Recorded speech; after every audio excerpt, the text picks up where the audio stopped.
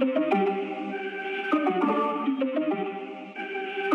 E mais um lançamento da Motorola está aqui comigo, o novo Moto G55 5G, trazendo o novo chipset da Dimensity 7025, 8 GB de RAM, 256 GB de armazenamento, bateria de 5.000 mAh, uma tela LCD IPS de 6,5 polegadas com resolução Full HD+, taxa de atualização 120 Hz e um brilho máximo de 1000 nits, hein? Temos uma tela mais brilhante aqui nessa geração. O aparelho também já vem de fábrica com Android 14 e traz uma câmera principal de 50 megapixels megapixels, uma Sony Litia 700C. Nesse vídeo aqui nós vamos conhecer o conteúdo da caixa e também as primeiras impressões. E olha, dá trabalho trazer todos esses vídeos, eu tenho que comprar todos esses aparelhos aqui para poder trazer para vocês. E a melhor forma que você tem de agradecer é uma, clicando aqui no botão do gostei. Faça isso aí para eu continuar trazendo aí novidades para vocês, conseguir trazer esses super lançamentos. Então deixa o like aí para fazer com que esse vídeo alcance mais pessoas, para ajudar o canal Big Geeks a continuar crescendo e para que eu possa continuar trazendo esses lançamentos aqui para vocês. E você que está chegando agora, olha só, hein? Moto G55 na mão. Então você que curte tecnologia, se inscreva aqui no canal e ative o sininho para ser notificado de todos os nossos novos vídeos. E claro, torne-se Big Geek você também.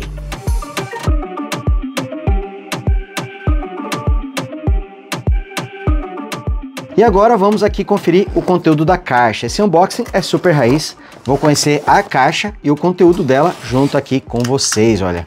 Abrindo aqui pessoalmente, eu sempre tenho que resistir à tentação, né? Mas vale muito a pena. E tá aqui, tcharam, Moto G55, inclusive na embalagem Ecomoto, né? Que está presente também na família Ed. Não são todos os Moto G que vêm com essa embalagem, alguns deles trazem ainda aquele formato no padrão azul escuro, que eu também acho muito bonito, né? Mas esse aqui com certeza chama mais atenção, passa um ar de ser mais premium. Essa aqui é a versão na cor verde, com 8 GB de RAM e 256 GB de armazenamento. Essa versão inclusive traz o acabamento em vegan leather. E olha que legal, né? Aqui não temos nada nessa parte da caixa, aqui já temos o aparelho logo de cara, e ele tá bonitão, hein? Parece ser muito bonito. E aqui, mostrando o conteúdo, ó, temos aqui essa caixinha que infelizmente não abriga uma capinha, o que já era de se esperar. Temos aqui a ferramenta de emoção do SIM card e também temos aqui o guia rápido que não quer sair, tá aqui ó, o guia rápido do aparelho. Temos também o carregador, qual que é a potência dele? Vamos conferir? 33? É isso mesmo, ó. Carregador de 33 watts com a saída USB tipo A na parte superior. Então, obviamente, temos aqui um cabo USB tipo C numa ponta e USB tipo A na outra ponta. Cadê a porta USB-C? Tá, tá aqui, ó, tá aqui escondidinho. E por fim, mais nada na caixa e já percebi que temos uma caixa perfumada consigo perceber aqui o aroma característico, né? Quem comprou um smartphone da Motorola aí nos últimos anos deve ter percebido também esse perfume que vem junto com a caixa do aparelho. E aqui o Moto G55. Olha, a Motorola lançou muitos aparelhos aqui nesse segundo semestre, hein? Tivemos aí chegada de Razor, tivemos família Edge, tivemos agora Moto G, são três Moto G que eles lançaram recentemente. E ó, Aqui a embalagem é toda ecológica, então temos aqui o papel. Problema, apesar de dar, olha isso, apesar da intenção ser boa, ser positivo, a parte ruim é isso, que é difícil você conseguir manter a embalagem intacta, né? Eu gosto de deixar tudo aqui novinho para quando for revender o aparelho, ele tá o mais próximo possível do original. E apesar do cuidado, é inevitável que ela acabe rasgando um pouquinho. Aqui até algumas características, são poucas, né, que vêm destacadas aqui. Aqui mostrando o aparelho, que tá muito bonito, hein? Ele traz aqui a tampa traseira feita em viga leather, incluindo aqui a moldura que abriga as duas câmeras traseiras. O sensor principal tem 50 megapixels e temos uma ultra-wide de 8 megapixels com autofoco, então ela pode ser utilizada também para fotos e vídeos em modo macro. O aparelho tem uma espessura de 8,1 milímetros e o seu peso total é de 182 gramas. Aqui nessa lateral nós podemos ver os botões de volume e também o botão liga-desliga, que também é o sensor digitais do aparelho. E reparem que as câmeras ficam um pouquinho elevadas aqui em relação à traseira do aparelho. Na parte superior temos apenas o microfone e a informação aqui do suporte ao Dolby Atmos. E ele tem outro alto-falante aqui logo acima da câmera. Vamos até aproveitar para ir ligando o aparelho aqui e conferir, olha só, a câmera frontal fica aqui em um furo na tela e ela traz 16 megapixels. Aqui na parte inferior temos o segundo alto-falante, também porta USB tipo C, microfone utilizado para as ligações e olha só, temos uma entrada P2 para fone de ouvido, um acessório cada vez mais raro nos dias atuais.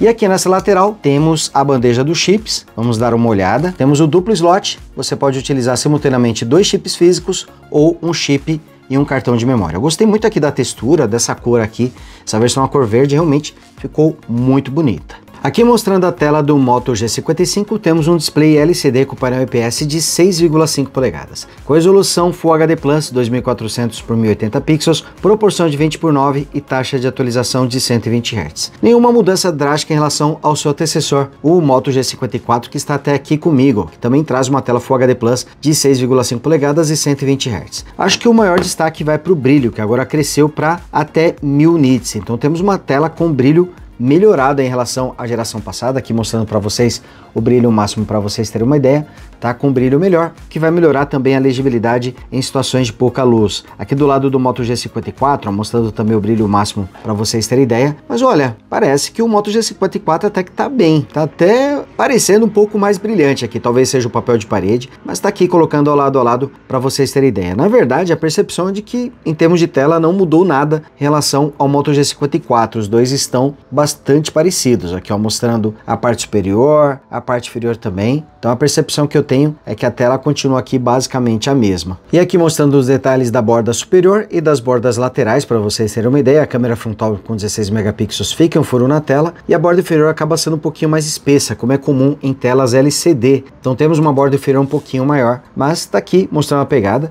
O aparelho continua com uma pegada muito boa e visualmente muito bonito. Aqui comparando de novo com o Moto G54, que também traz nessa versão aqui com 256 GB o acabamento em vegan leather e os dois aparelhos são muito bonitos, né? O Moto G54 parece ser um pouquinho mais quadradão, enquanto que o Moto G55 passou a ter linhas um pouco mais arredondadas. São dois aparelhos com uma construção muito boa e bastante bonitos. O Moto G54 foi lançado com Android 13 e recebeu update para o Android 14. No caso aqui do Moto G55, ele já veio com Android 14. Acredito que pelo menos uma atualização ele deve receber, mas ainda não sei quantas atualizações esse aparelho vai receber no total. Mas depois eu vou tentar levantar informação com a própria Motorola e depois eu trago na análise completa essa informação para vocês. Aqui mostrando a tela inicial, o menu de configurações, tá aqui fazendo a rolagem também no menu de configurações. E olha, apesar desse aparelho trazer aqui a Hello UX e o Android 14, reparem que ele ainda está na versão antiga, não teve as mesmas atualizações da família de 50. Então não temos por exemplo, o fundo transparente. Aqui selecionando a tela inicial, a gente já percebe que temos aqui a opção de temas e fonte também. Então, nesse ponto ele foi até atualizado. Ó. Aqui na parte de temas, a opção de você trocar facilmente entre os temas,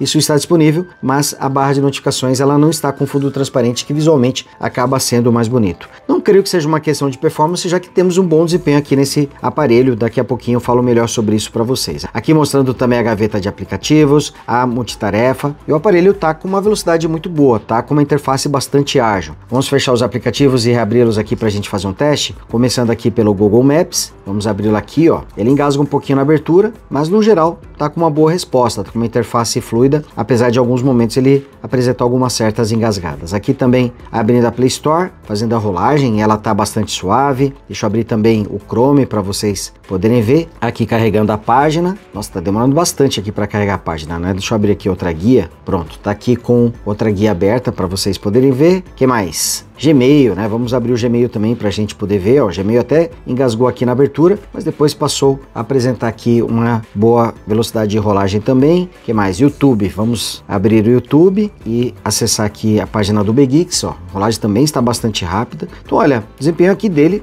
a princípio está muito bom. E aqui o aplicativo de fotos, inclusive essas fotos eu já fiz aqui com o Moto G55 e aqui também reabrindo os aplicativos, ó, o Mapas, deixa eu reabrir aqui a Play Store. Legal que ele está carregando rapidamente também os aplicativos abertos. Então temos uma interface aqui com uma boa velocidade. Outros recursos interessantes que esse aparelho traz é a captura de tela com os três dedos. Está aqui fazendo a captura de tela. Ele também tem a opção de dar dois toques aqui na parte traseira para abrir um aplicativo. No caso aqui, ele vai abrir o aplicativo de gravação de voz. Deixa eu tentar mais uma vez.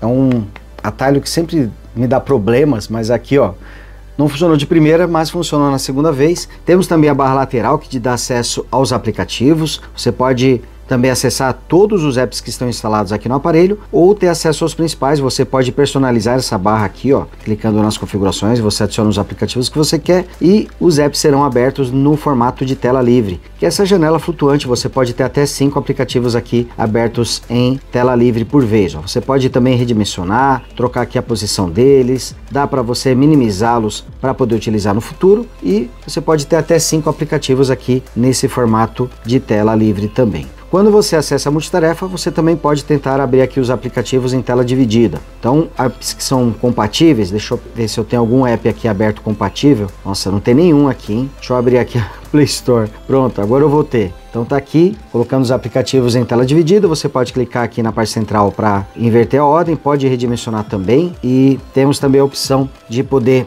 abrir o aplicativo de câmera fazendo esse gesto. Você pode abrir a câmera e também pode alternar entre câmera frontal e câmera traseira. E também tem esse outro gesto aqui para você ligar e desligar a lanterna. Outros recursos legais desse aparelho estão aqui no menu moto. Menu Moto é uma hub aqui com todas as personalizações possíveis. Ó. Você pode personalizar o tema, fontes, papel de parede. Por aqui você também pode configurar os gestos, acessar o Moto Security, que também dá acesso à pasta segura. Então por aqui você consegue controlar todas as funções do aparelho. Temos aqui como destaque o Family Space, que permite acessar um espaço dedicado e limitado. Você pode colocar um timer, ó, por exemplo, vou definir aqui 30 minutos e as pessoas só terão acesso a esses aplicativos. Muito bom quando você prestar esse aparelho para alguma pessoa. Então, o Family Space aqui te dá um acesso limitado aos aplicativos. Temos também o Moto Security, que permite você saber quais aplicativos têm acesso à sua câmera, ao seu microfone, sua localização e por aqui a gente também consegue acessar a pasta segura. Inclusive a pasta segura também pode ser acessada aqui pela gaveta de apps. Eu coloquei um atalho de disfarce, tá aqui ó, encanador. Quando você clica aqui, vai pedir o seu login e dessa forma eu vou acessar esses aplicativos que estão protegidos não só por senha, mas estão dentro de uma pasta criptografada também. E aqui você pode colocar apps, pode colocar arquivos também, o que é bem interessante. E também temos o Smart Connect. Por aqui, posso usar o smartphone como webcam no computador, posso conectá-lo ao PC, usá-lo como desktop móvel, roteador Wi-Fi e também temos a opção de espelhamento de tela. No espelhamento de tela, você pode tanto jogar diretamente por esse modo espelhamento, como você também pode criar uma interface de computador. Você pode usar a tela do smartphone como touchpad e com a imagem espelhada você simula o computador, um recurso que não estava presente no Moto G54, mas está aqui no Moto G55. Enquanto a performance, tivemos um upgrade em relação à geração passada. Do Dimensity 7020 do Moto G54, agora temos o Dimensity 7025 aqui no Moto G55. Ele continua trazendo os mesmos 8 núcleos, 2 da série 78 de performance e 6 a 55 de eficiência energética, só que a velocidade aumentou de 2.2 para 2.5 GHz. A GPU continua a mesma, a IMG BXM8256, que apesar do nome estranho, é uma GPU muito boa. Esse aparelho só é vendido em uma única versão, com 8 GB de RAM e 256 GB de armazenamento. Felizmente saiu a versão com 4 GB de RAM e 128 GB de armazenamento. Ele traz NFC, áudio estéreo, vem com Bluetooth 5.3, Wi-Fi dual band e olha só, também traz rádio FM. Quem é fã do rádio FM vai gostar desse recurso aqui no Moto G55. Sua porta USB tipo C é no padrão 2.0. A bateria tem 5.000 mAh e vocês viram que na caixa veio um carregador de 33 watts. Quanto às câmeras, voltou aqui a lente ultra-wide no Moto G55, uma boa notícia. O Moto G54 só tinha a câmera principal e uma lente macro, agora temos no Moto G55 uma câmera principal de 50 megapixels com abertura de 1.8 e uma lente ultra-wide de 8 megapixels com abertura de 2.2, ângulo de visão de 118 graus e com alto foco, que permite utilizar essa lente também para fotos e vídeos em modo macro, um bom upgrade aqui nessa geração. Câmera frontal tem 16 megapixels com abertura de 2.2 1.4. O aparelho consegue filmar em até Full HD a 30 e 60 quadros com a câmera principal e as demais conseguem filmar em até Full HD a 30 quadros por segundo. Entre os recursos temos modo retrato para a câmera frontal e traseira, temos também o Night Vision, porém apenas para a câmera principal. Ele traz aqui captura dupla para fotos e vídeos, cor em destaque para fotos e vídeos, câmera lenta, time-lapse, modo panorâmica, escaneamento de documentos e temos aqui o modo profissional, porém apenas para fotos. Eu já estou deixando aqui alguns exemplos de fotos e vídeos feitos com Moto G55, mas só de ter voltado aqui a lente ultra-wide e dela trazer o suporte ao modo macro através do autofoco, já foi um belo upgrade em relação ao seu antecessor, o Moto G54. O sensor de tais fica aqui na lateral, vamos fazer um teste? Então vamos lá. Aqui tentando desbloquear. Ele tem uma boa velocidade, hein? E é bastante preciso. Tá aqui fazendo mais uma vez. Leva o quê? Meio segundo, acho que até menos do que isso para desbloquear. É bastante rápido e também muito preciso. Ele também traz o desbloqueio facial, aqui fazendo o teste também. Também traz uma ótima velocidade. Gostei bastante aqui ele é bastante rápido para desbloquear. Aqui mostrando o áudio, ela é estéreo. A família S50 volume está alto, enorme, hein? com cinco aparelhos. E o, o S50 que está é um aqui comigo abafado, seria o terceiro mais mas poderoso o volume é alto. somente do Os S50 graves também não são muito fortes. 50. Mas gostei do volume. Ele traz áudio estéreo. G1 O alto-falante superior tem um bom que é nível, uma versão bom turbinada do volume, é bem equilibrado com o alto-falante inferior. com 5.000 mAh, com um carregador de Eu 60 gostei, viu? Curti a qualidade. e E aqui mostrando o display de 6,5 polegadas, continuamos com uma tela LCD e painel IPS, com resolução Full HD+, taxa de atualização de 120 Hz, câmera frontal um pequeno furo na tela e temos aqui um brilho máximo que pode chegar até 1000 nits.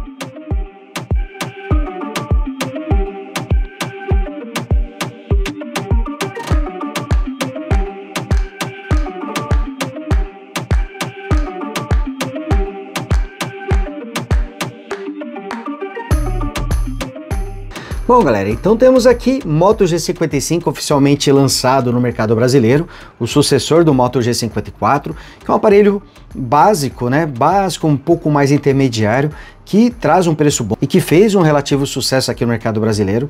E agora o seu sucessor chegou não trazendo tantas mudanças assim, mas as mudanças foram legais. Primeiro, o seu chipset que está mais potente, eu acho que não vai mudar tanto assim, mas ele está com uma velocidade maior. Tecnicamente, ele é muito parecido com o Dimensity 7020 que equipa o Moto G54, mas o Dimensity 7025 está com uma velocidade maior e quanto mais velocidade, né, acaba sendo aí um ponto melhor também. Outra coisa que eu gostei que agora ele só é vendido com 8 GB de RAM e 256 GB de armazenamento. Sai a versão mais básica com 4 GB de RAM e 128 GB de armazenamento.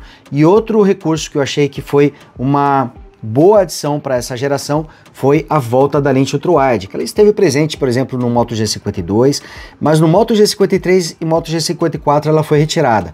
Ela não só voltou aqui no Moto G55, mas está trazendo autofoco. Então temos duas câmeras traseiras que valem por três, porque temos também agora o suporte ao modo macro tanto para fotos quanto para vídeos, graças à lente ultra-wide com o autofoco. O aparelho já vem de fábrica com Android 14, ainda não sei quantas atualizações ele irá receber, mas é uma informação que eu vou levantar para poder trazer aqui no futuro. E a sua construção também é muito boa, um smartphone visualmente muito bonito, traz o NFC que acaba sendo bem legal e ele conta com proteção contra respingos, né? nada de proteção contra poeiro, que é comum na família Moto G, mas tem a proteção aqui contra respingos. E o aparelho foi lançado por R$ 1.999 a prazo ou R$ 1.799,10 à vista. Está bem longe do preço atual do Moto G54 8256, que está ali próximo dos R$ 1.300, mas é lançamento. Eu acho que para um lançamento o preço até que é interessante. A gente sabe que esse valor vai cair com o passar do tempo, então acredito que o Moto G55 tem tudo para ser um smartphone bem interessante aí daqui a algum tempo, quando o seu preço cair e ele ficar principalmente abaixo dos R$ 1.500. Bom, galera, então é isso. Vou trazer mais vídeos aqui sobre o Moto G55, quem sabe até um comparativo com o Moto G54 para a gente entender melhor as diferenças. Se você quer ver esse vídeo, comenta aí, deixa o seu comentário e não esquece também de deixar o like. E você que ainda não é inscrito, se inscreva e torne-se Big Geek você também. Grande abraço e a gente se vê no próximo vídeo. Tchau!